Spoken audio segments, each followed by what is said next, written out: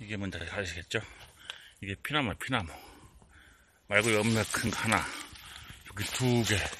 저 위는 다 썩었고요. 다 썩었어요.